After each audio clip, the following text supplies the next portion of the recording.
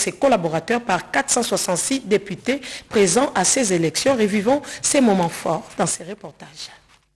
Le quorum étant largement atteint, comme l'exige la coutume parlementaire, la plénière peut siéger, a annoncé le président du bureau d'âge pour l'élection et l'installation du bureau définitif. Le bureau d'âge de l'Assemblée nationale était en train de jouer la dernière note de la partition lui assignée au cours de la session extraordinaire. Une majorité écrasante a été constatée pour l'élection des sept membres du bureau de la Chambre basse du Parlement.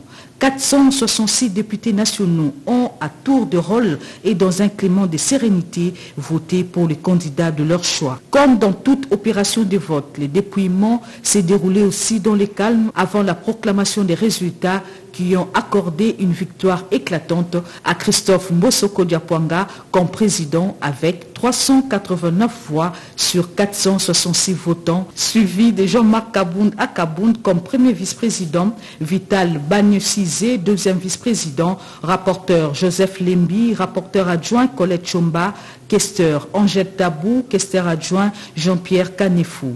Pour couronner cet événement, le bâton de commandement a été remis au nouveau président Christophe Mbosoko Diapwanga. Je voudrais remercier nos deux collègues, membres du bureau d'âge, qui se sont acquittés loyalement avec beaucoup de dévouement et d'abnégation du devoir qui leur avait été confié. Après l'installation du bureau, il était temps que l'on passât au deuxième point inscrit à l'ordre du jour de la plénière, à savoir la clôture de la session extraordinaire de l'Assemblée nationale. Comme vous le savez, dans quelques jours, Son Excellence, Monsieur le Président de la République, chef de l'État, Félix Antoine Tshisekedi Chilombo, prendra la tête de l'Union africaine. Ceci est donc la conséquence logique d'un rayonnement diplomatique de notre pays dans un monde globalisant. Dans le cadre de notre diplomatie parlementaire, nous ne ménagerons aucun effort pour accompagner le chef de l'État et l'aider à réussir son mandat à la tête de notre organisation continentale. Sur ce, je déclare close la session extraordinaire de janvier 2021 et je vous remercie. Comme qui dirait, tout est bien qui finit bien, rendez-vous le 15 mars prochain pour l'ouverture de la session ordinaire. Une fois installé, le président de l'Assemblée nationale a appelé les élus à communier avec la population. Notre joie commune, c'est de constater que le train de la démocratie est bel et bien en marche dans notre pays. Et nous venons de franchir avec succès une étape particulière importante, celle de l'élection suivie de l'installation du bureau définitif de notre Chambre, consécutive à la réqualification de la majorité que nous avons connue encore au cours de la législature. Par notre élection, nous venons d'épuiser les derniers points inscrits à l'ordre du jour de notre session extraordinaire. Je pense que le temps est venu pour nous de restaurer la confiance entre nos électeurs et nous par la qualité du travail qui doit en tout temps répondre à leurs intérêts. Les Écritures saintes nous disent qu'il y a un temps pour tout. Le temps est venu pour nous, majorité comme opposition, au sein de cette Chambre, d'oublier nos contradictions de ces derniers jours, pour que nous puissions toujours répondre à notre devoir constitutionnel, celui de travailler pour le bien-être de notre peuple, en légiférant dans la paix, l'unité et la concorde, quelles que soient nos divergences inhérentes à tout exercice démocratique. Chers collègues, hier, j'étais votre doyen d'âge. Aujourd'hui, vous venez faire de moi votre président, tout en le demeurant. Je mettrai mon expérience accumulée tout au long des années au service de la patrie.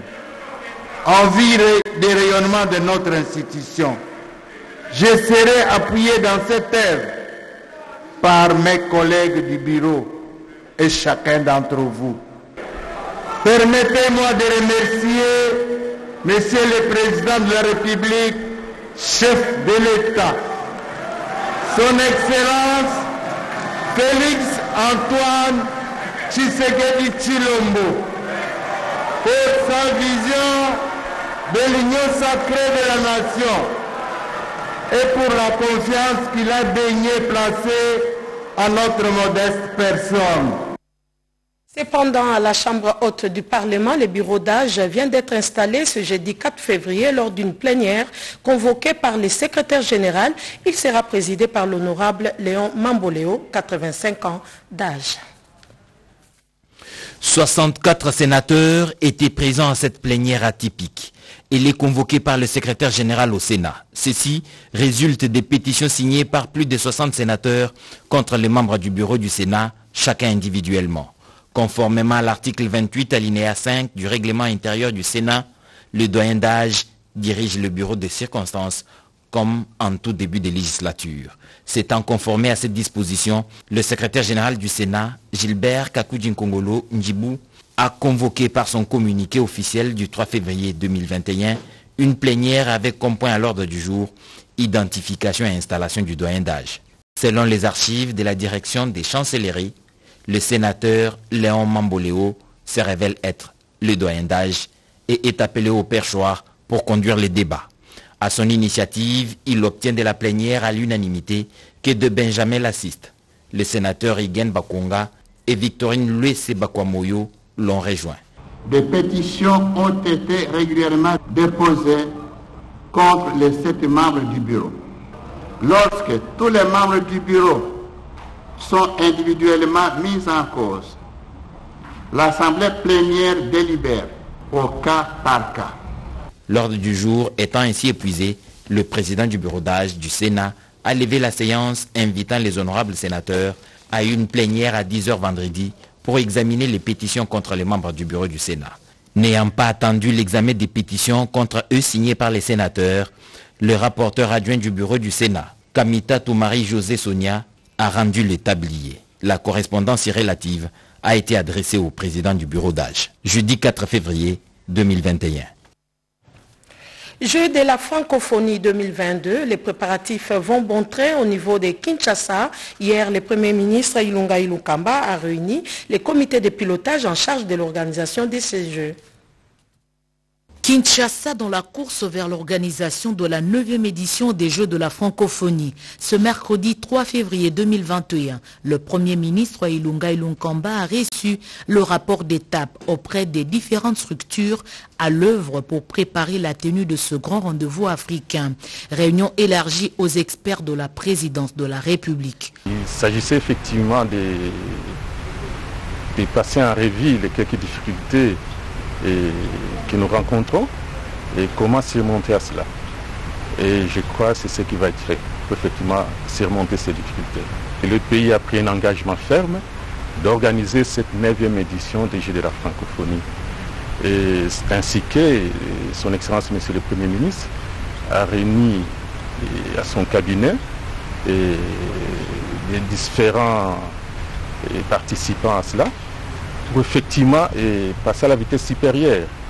Et, à cela, puisque nous avons effectivement un problème de délai qu'il faut se surpasser. La RDC tient à gagner ce pari. Toutes les énergies sont mobilisées pour répondre aux exigences, en croire le comité de pilotage de l'organisation de la 9e édition des Jeux de la francophonie prévue à Kinshasa en 2022. Les retours des élèves à l'école, ce n'est pas pour ce lundi 8 février, selon les ministres de l'enseignement primaire, secondaire et technique, Willy Bakonga. La question est encore en discussion pour pouvoir arrêter une date exacte. Contrairement à ce qui a été envisagé, la reprise de cours n'aura pas lieu ce lundi 8 février 2021 sur l'ensemble du territoire national. Les élèves et le réseau éducationnel sont obligés de poursuivre le cours à distance. C'est le ministre de l'enseignement primaire, secondaire et technique, Willy Bakonga, qui l'a annoncé ce 3 février 2021. Quant à la décision sur la reprise de cours, cette responsabilité ne lui revient pas tout seul. La décision de la reprise de cours n'est pas uniquement l'apanage du ministère de l'EPST, dans les contextes sanitaires actuels marqués par la deuxième vague de la Covid-19. Les, experts de l'EPST ont travaillé sur plusieurs calendriers avec des hypothèses de différentes dates de reprise de cours. Toutes ces propositions sont en examen au niveau du ministère, au niveau même du gouvernement et du, comité multisectoriel de, de lutte contre la, la, Covid-19. Et dès que la situation le permettra, le, président de la République, chef de l'État, les verra une option et la date vous sera communiquée euh, officiellement. Il y a quelques mois déjà, le gouvernement congolais avait jugé bon d'interrompre le cours présentiel par la fermeture des établissements scolaires en vue de préserver la santé des élèves et des enseignants contre la propagation de la pandémie de la Covid-19 en République démocratique du Congo. Célébration ce 4 février de la journée internationale de lutte contre les cancers avec comme thème Je suis et je vais. Ensemble, toutes nos actions sont importantes. Occasion pour les ministres de la Santé d'adresser un message à la nation. Chers compatriotes, le 4 février de chaque année depuis 21 ans, le monde célèbre la journée mondiale de la lutte contre le cancer.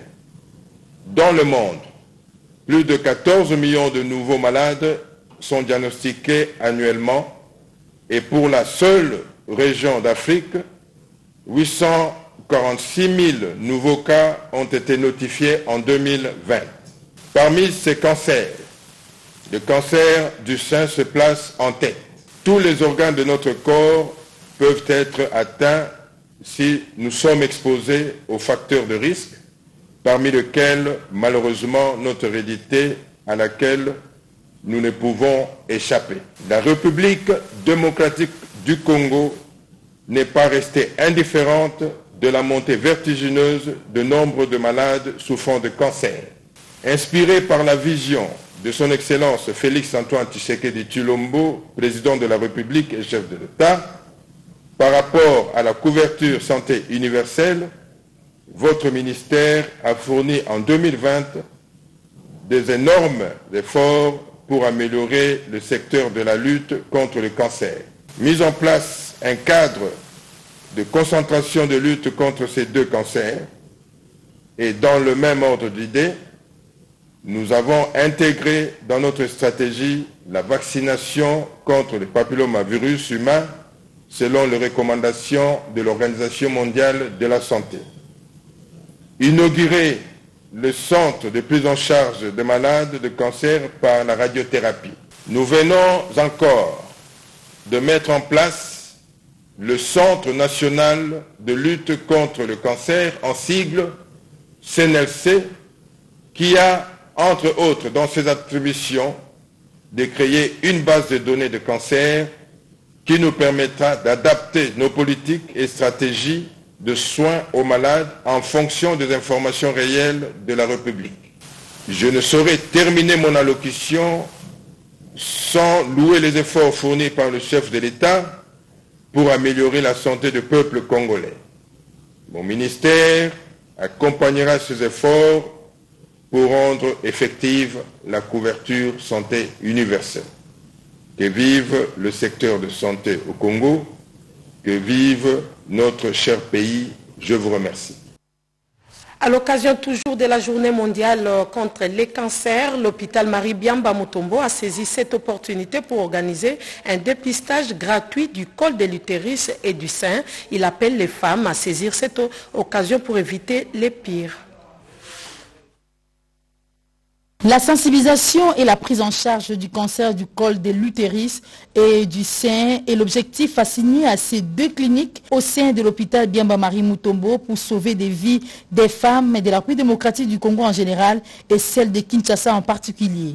Le docteur Tanko Yuyu, médecin affecté à la clinique du col, parle ici du fonctionnement de ces programmes. Nos deux cliniques sont ouvertes. La première, la clinique du col, le lundi, le mardi et le mercredi de 8h à 12h et la clinique du sein le mercredi, le jeudi et le vendredi sont ouverts aussi pour le dépistage du sein. Venez toutes vous faire dépister. Le cancer du col de l'utérus et du sein est guérissable s'il est dépisté à temps. Le docteur Mukowa Pierre Arnold appelle le gouvernement à mettre la main dans la pâte pour venir en aide à ces femmes dépistées porteuses du cancer du col de l'utérus et du sein. Le dépistage tôt plus la prise en charge serait également euh, facile. Donc euh, j'invite toute femme se faire dépister. Nous demandons également au gouvernement euh, de chercher à s'investir hein, par rapport à cette maladie, de s'investir puisque la maladie est multidisciplinaire, c'est que le gouvernement puisse suppléer euh, aux différentes structures euh, qui prennent en charge Depuis leur création, ces deux cliniques ont déjà enregistré plus de 25 000 femmes venues se faire dépister contre le cancer du col de l'utérus et 5 000 contre celui du sein. Ce en prélude de la journée mondiale du cancer célébrée le 4 février de chaque année. Aucun cas déclaré de choléra dans la capitale comme à durant l'année 2020, résultat donné lors de la revue annuelle du programme national d'élimination du choléra et de lutte contre les autres maladies diarrhéiques. Des précisions dans ces reportages de Peggy Mukonda en vue de partager les expériences vécues et tirer des leçons pour mieux orienter les activités de l'année 2021, le programme national d'élimination du choléra et de lutte contre les autres maladies diarrhéiques, euh, Pénécole MD, a organisé par vidéoconférence un atelier sur la revue annuelle des activités réalisées en 2020. Le cordon Moulumba Audrey a eu à modérer cette grande rencontre virtuelle avec les provinces, les partenaires et le secrétariat général du ministère de la Santé pour analyser la situation épidémiologique du choléra et les autres maladies diarrhéiques en 2020 à l'échelle nationale et provinciale. Aussi à analyser les forces, les faiblesses, les opportunités et menaces en vue de tirer des leçons dans la réponse aux épidémies de choléra et les autres maladies diarrhéiques. Trois ans après la, mise en place du programme, nous avons pu réduire l'incidence des cas de 64% et la mortalité, nous l'avons réduite de 71% comparativement à l'année 2017.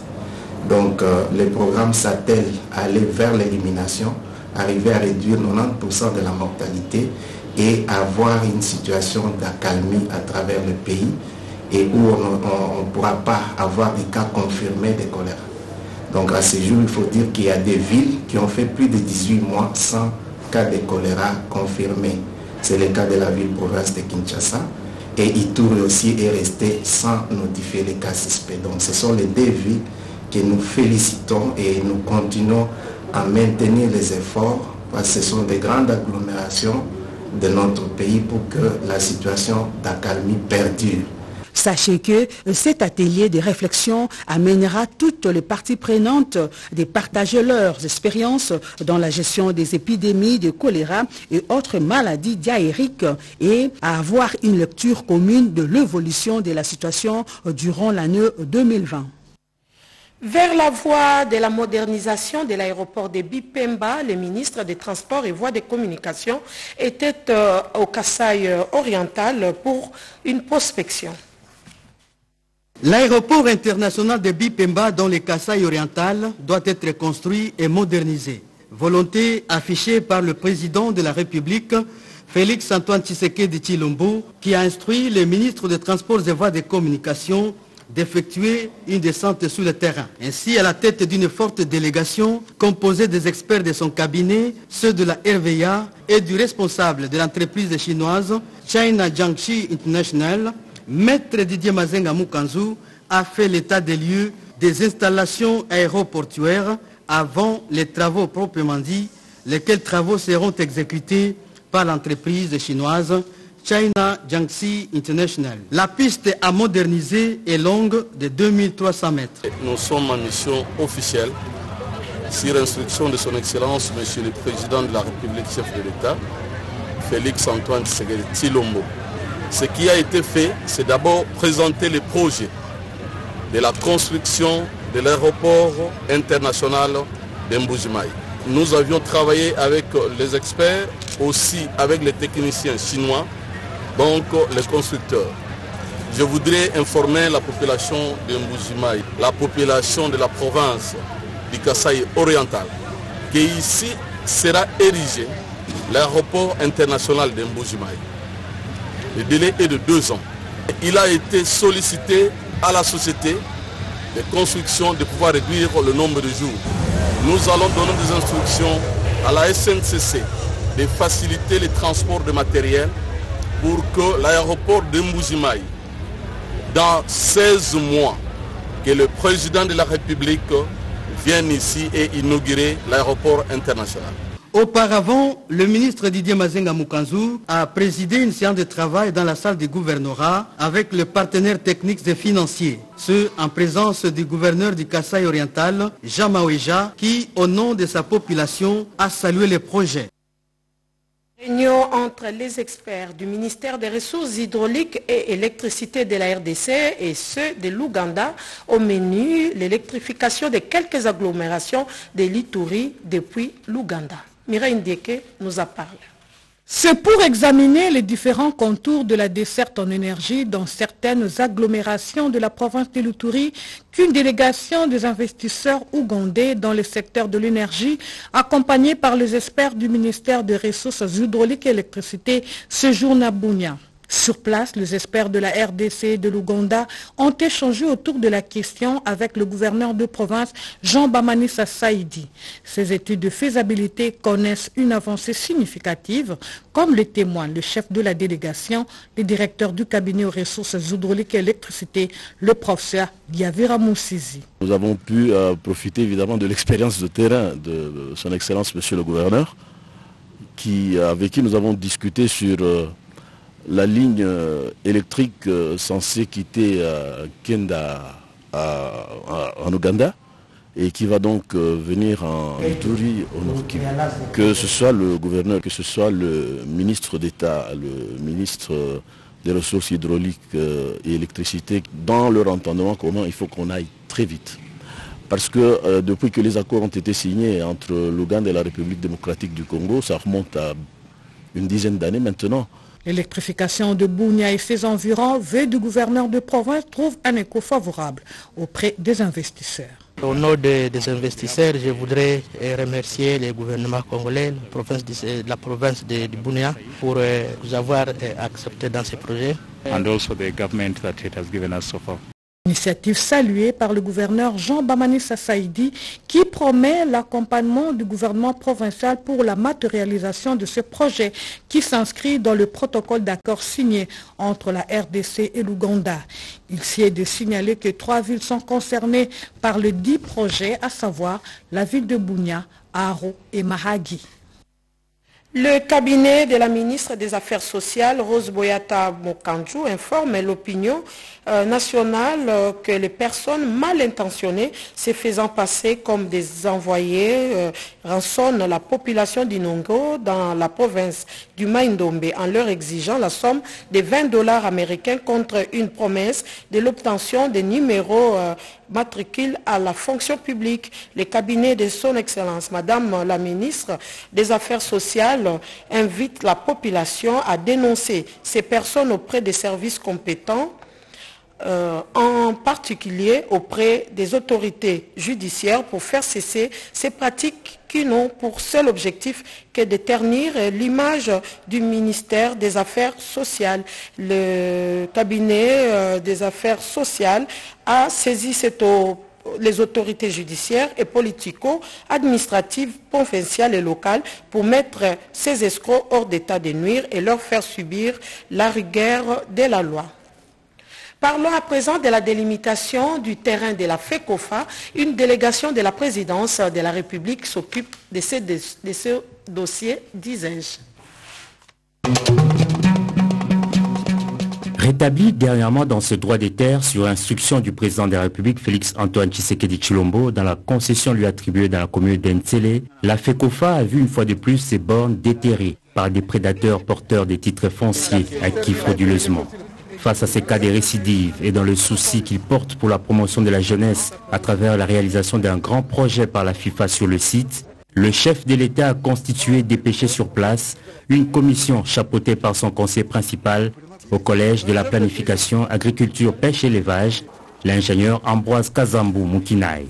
Outre les délégués de la présidence de la République, la commission a comporté des représentants de la maison militaire du chef de l'État, des ministères sectoriels, des officiers de la garde républicaine, des forces armées de la République démocratique du Congo et ceux de la police, la direction générale de l'ICCN, les représentants de la FECOFA et des préposés de l'ex-DAIPEN.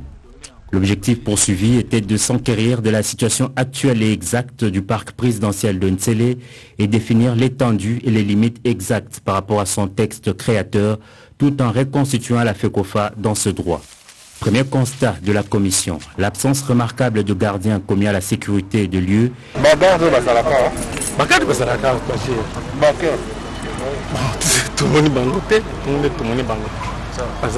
Et même les occupants d'une habitation insalubre construite dans cette plaine alluviale ont eux aussi pris la poudre d'escampette.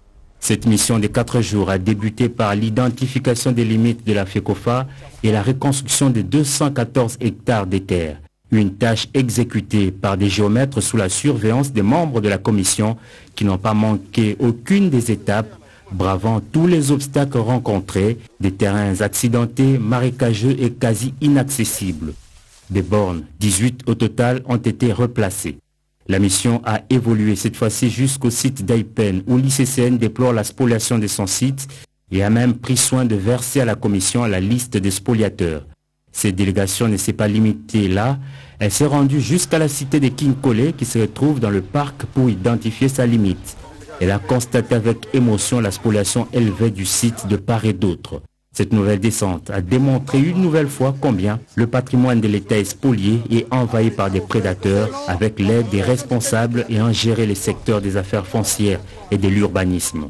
Mission achevée, la commission devra rédiger un rapport circonstancié à remettre au chef de l'État. Les faussaires devront d'ici peu connaître de mauvais jours.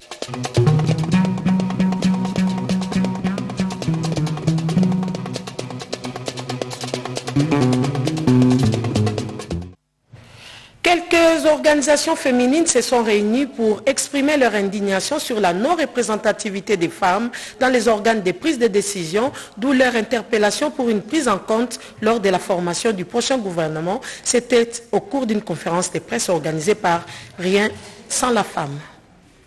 Faisant suite à l'actualité de l'heure en rapport avec la reconfiguration du bureau de l'Assemblée nationale et la prochaine mise en place du gouvernement, les femmes se sont retrouvées pour dénoncer la sous-représentativité des femmes retenues candidates dans le poste à pourvoir au bureau de la Chambre basse au cours d'une conférence de presse. Rien sans les femmes ne comprend pas comment les plateformes politiques n'ont pas pensé à inscrire les femmes députées membres de leur regroupement.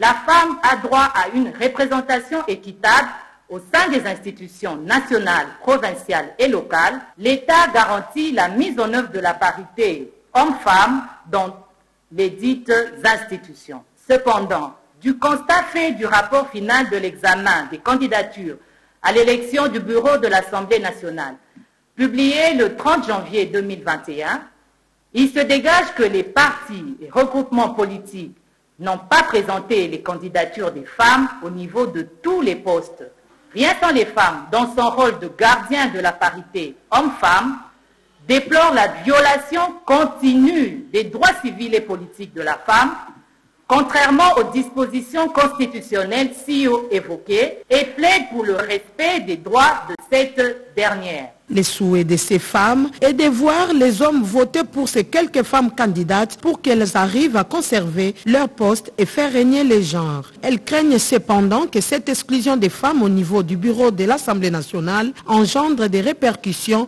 à la prochaine mise en place du gouvernement. Signalons par ailleurs que dans cette activité, la présence de la représentante de la CNDH était une occasion pour toutes d'appeler les partis et les regroupements politiques à aligner et appuyer les candidatures des femmes compétentes dans les postes de prise de décision.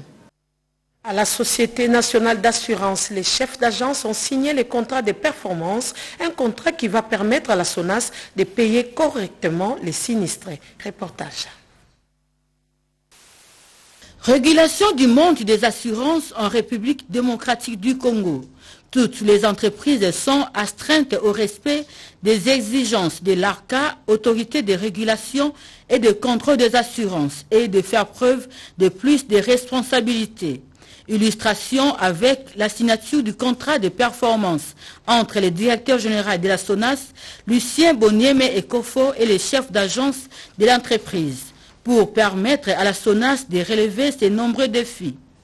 Le directeur général de la SONAS, Lucien Bonieme Kofo, a affiché sa détermination quant à la réussite de la mission confiée à son entreprise. Nous ne pouvons passer sous silence l'implication personnelle du chef de l'État pour faire bénéficier à notre entreprise de l'accompagnement du gouvernement qui commence à se matérialiser, notamment avec la régularisation du fonctionnement de la SONAS SA par l'ARCA, et avec l'audience que son Excellence, Monsieur le ministre des Finances, venait d'accorder conjointement aux délégations de l'ARCA et de la SONAS SA, conduites par leurs directeurs généraux respectifs. Une autre audience à la seule délégation de la SONAS SA est programmée par le même ministre dans de tout prochains jours. Chaque agence doit être en règle avec ses engagements vis-à-vis du siège sur la constitution du provision technique. La direction générale se permettra d'accorder une prime spéciale à ceux des agents et cadres qui auront excellé dans la production.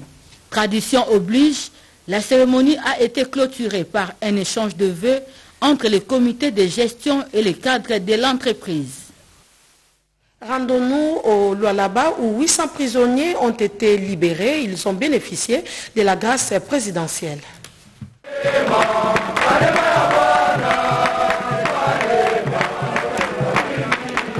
Ces cantiques témoignent l'immense joie que manifestent ces prisonniers à l'annonce de la bonne nouvelle leur apportée par le procureur général près la cour d'appel du Lualaba, celle de la mise en exécution de l'ordonnance numéro 20 bar 150 du 30 décembre 2020 portant mesures collectives de grâce présidentielle. Au total, 42 d'entre eux ont été bénéficiaires de cette mesure de grâce, parmi lesquels 3 femmes sur 715 prisonniers incarcérés à la prison centrale de Dilala. C'est une grande joie pour nous et nous disons merci au président de la République qui a pris cette mesure en se souvenant de nous comme tout autre Congolais.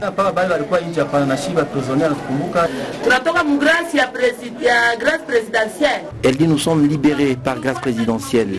Ici, nous avons beaucoup appris. Nous avons même changé.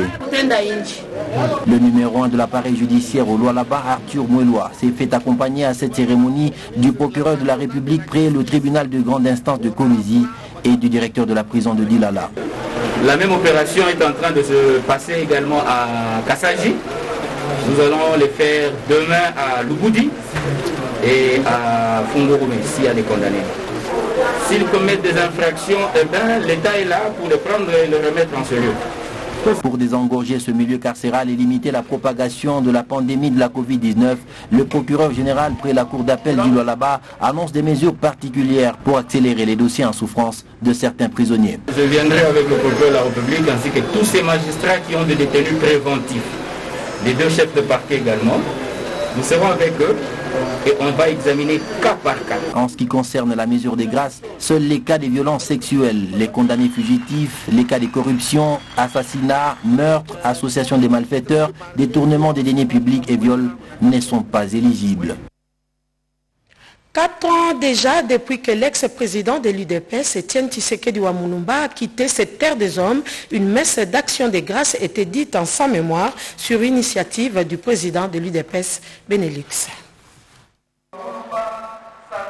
La nation congolaise se souvient toujours du ferme engagement de la lutte constante menée par Etienne Tshisekedi Wamulumba durant sa vie pour le progrès social.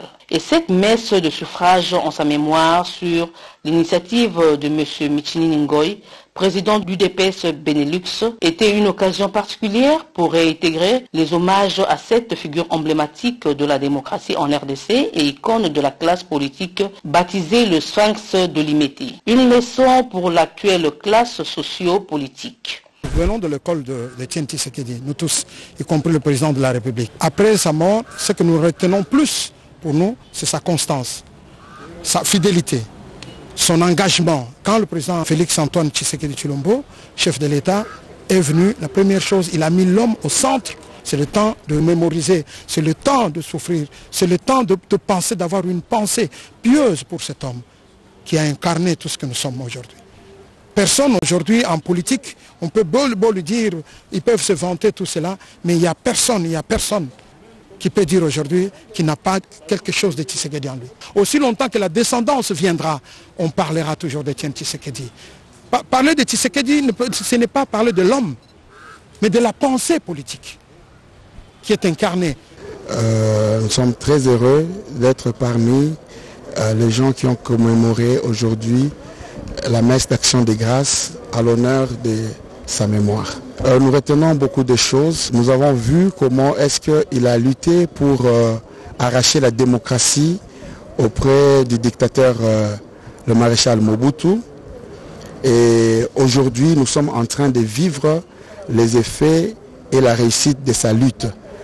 C'est pourquoi nous sommes très fiers de commémorer aujourd'hui le quatrième anniversaire de son repos auprès du Père. L'officiant du jour a enfin conclu son homélie et interpellant tout chrétien en général et en particulier ceux de la classe politique et à privilégier et servir toujours le peuple pour en sortir grand et non des intérêts égoïstes.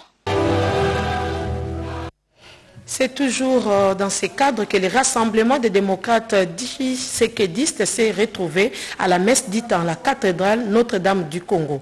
Eric Kabamba. Années de carrière dans la scène politique et Premier ministre à plusieurs reprises. Étienne Tshisekedi Wamulumba a marqué la classe politique congolaise. L'un de ses fidèles soldats, Sylvain Mutombo, président du mouvement Rassemblement démocrate Tshisekediste, a tenu lui rendre un vibrant hommage quatre ans après sa disparition. Au cours de cet atelier, organisé ce 1er février, date qui marque la mort de cet opposant historique du pays, Sylvain Mutombo a sensibilisé sa base sur la vie d'Étienne Tshisekedi qui a incarné à lui seul le courage, la dignité et la droiture pour l'instauration de la démocratie en RDC.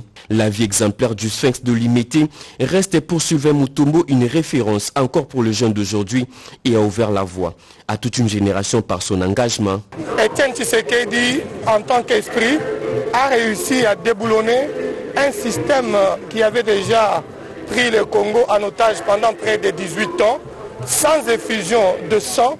Aujourd'hui, l'UDPS au pouvoir avec ses alliés, avec une majorité écrasante, avec le contrôle de tous les leviers de commande. Mais aujourd'hui, nous vivons la réalité de Tien Tshisekedi par son combat, par son histoire, par sa méthode de lutte, par la résistance pacifique. Aujourd'hui, l'UDPS au pouvoir avec Félix Tshisekedi qui est son incarnation. Nous devons privilégier le voie de dialogue, les échanges entre Congolais et aussi privilégier l'instauration d'un état de droit qui est la clé de la démocratie et du développement dans le pays. Une messe d'action de grâce en mémoire de feu Etienne Tshisekedi a suivi cet atelier. Messe à laquelle ont pris part plusieurs cadres du RDT, une façon pour eux de saluer les combats de ces grands hommes qui a consacré son temps au service du peuple congolais. Le cabinet euh, du président de la République, chef de l'État, a la profonde douleur d'annoncer les décès inopinés ce mardi 2 février 2021 à Kinshasa de Kabeya Kibishi John, mieux connu sous le nom d'Emfumu Sabata, conseiller au collège culturel, arts et questions religieuses. En concertation avec la famille, le programme des obsèques sera communiqué ultérieurement. Au nom du président de la République, euh, son euh, cabinet présente ses sincères condoléances à la famille biologique et politique de l'illustre disparu. Ce communiqué tient lieu de faire part. Nous sommes arrivés à la fin de ce journal, mais en attendant les rappels des titres. Pas de reprise des cours pour les élèves. Les sujets faits encore objet de discussions au niveau du ministère de l'enseignement primaire, secondaire et technique. Et puis euh, le nouveau bureau de l'Assemblée nationale est connu. Il sera présidé par euh, le doyen d'âge Mbosoko Diapwanga. Pendant ces temps, le Sénat a également installé son bureau d'âge. Voilà, mesdames, euh, messieurs, c'est la fin de cette édition. Merci Merci, mesdames, messieurs, de l'avoir suivi. Merci à toute l'équipe technique qui m'a accompagné également, à Mami Kadima qui a été à sa rédaction. Euh, les prochains rendez-vous avec euh, les journaux, c'est dans quelques heures. Encore une fois, merci de votre aimable attention. Bonsoir à toutes et à tous.